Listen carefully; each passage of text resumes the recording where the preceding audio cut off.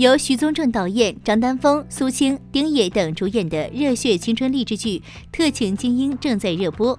张浩奇的扮演者丁野因此还被封“特勤萌神”的称号。日前，丁野接受采访时提到这个称谓，他带着一丝难为情笑纳。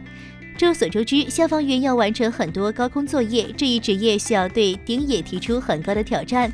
对我来说，最难克服的就是恐高，但很多训练都是高空进行的，从三四楼再到十楼。为了诠释一个消防战士的形象，丁野选择了咬牙坚持。